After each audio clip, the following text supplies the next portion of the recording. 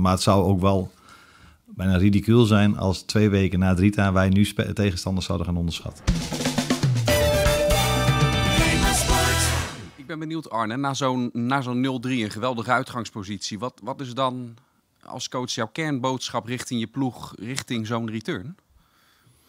Nou, dat staat eigenlijk los van de 0-3, maar dat, dat heb ik net al een beetje proberen aan te geven. Dat je ze constant bewust maakt van het feit dat je een aantal dingen heel goed doet dat dat heel succesvol kan zijn. Maar ik kan ze ook net zo makkelijk laten zien dat ze een aantal keren net niet op de bal doorjagen of net niet scherp zijn. Dat we dan ook kansrijke situaties weggeven. Want ook in Lutsen hebben wij natuurlijk wel een aantal kansrijke situaties weggegeven. Maar heb ik wel gezien dat ze bijna elke keer met 10 man aan het terugsprinten waren om te voorkomen dat die kansrijke situatie een grote kans werd.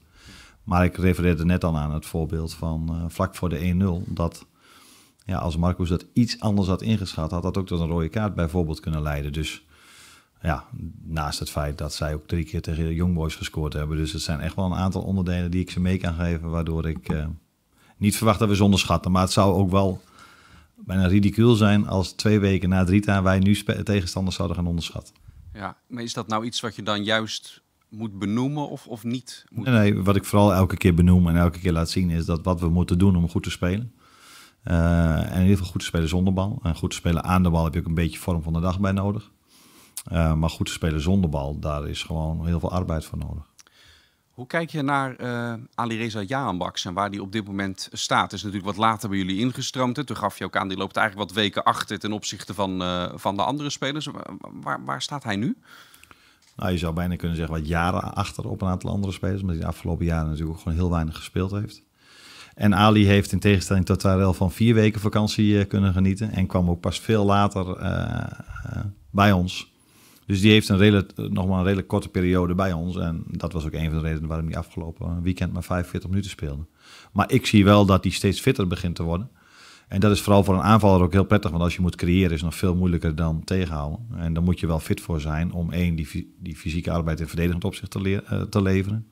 En twee, dan ook nog wat over te hebben om je aanvallend te onderscheiden. En ik zie wel dat dat steeds beter gaat. En dat is ook een kwestie van tijd dat hij uh, daarin heel veel rendement uh, gaat leveren. Ja, want eigenlijk kunnen we hem pas echt ook, ook beoordelen en, en, en langs wat we van hem gewend zijn leggen als hij helemaal die topfitheid weer heeft, toch?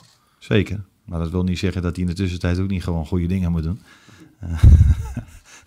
en dat heeft hij, eh, volgens mij was hij bij de 2-0 nog betrokken tegen uh, Lutsen. Ik vond wel dat hij daar ook in de eerste helft een aantal keren te veel op zoek ging naar de moeilijke ballen. En nou ja, dat is ook een van de gevaren van deze tegenstander. Als je te veel balverlies leidt, dat is wel een ploeg die goed op de counter is. Als het toch gaat over die rechterflank, hè, want hij, hij wordt daar de vaste man rechts voorin normaal gesproken, uh, Pedersen rechts achterin. Hoe, hoe creëer je nou op dat trainingsveld dat je daar een, een tandem krijgt en ingespeeld geheel, dat, ja, dat dat een nieuw hecht duo wordt? Hoe doe je dat? Nou, dat doe je door middel van trainingsvormen en door middel van videobeelden. En dat doen ze hopelijk ook door met elkaar veel te praten en te communiceren. En ik denk dat dat altijd even tijd nodig heeft voor spelers om echt aan elkaar gewend te raken waar hun voorkeur ligt, hoe ze combinaties op willen zetten. Dat heeft soms ook even tijd nodig. Over het algemeen zie je wel dat hoe beter spelers zijn, hoe sneller ze op elkaar ingespeeld raken. Nou weet ik dat Messi al met Neymar gespeeld heeft, maar ik denk niet dat die heel lang nodig hebben om elkaar te gaan vinden. Dus hoe beter voetballers zijn, hoe makkelijker uh, ze, ze gaan aan, aan, elkaar gaan aanpassen. Zonder die vergelijking naar Jan Baks en Pedersen te willen uh, trekken over die twee spelers.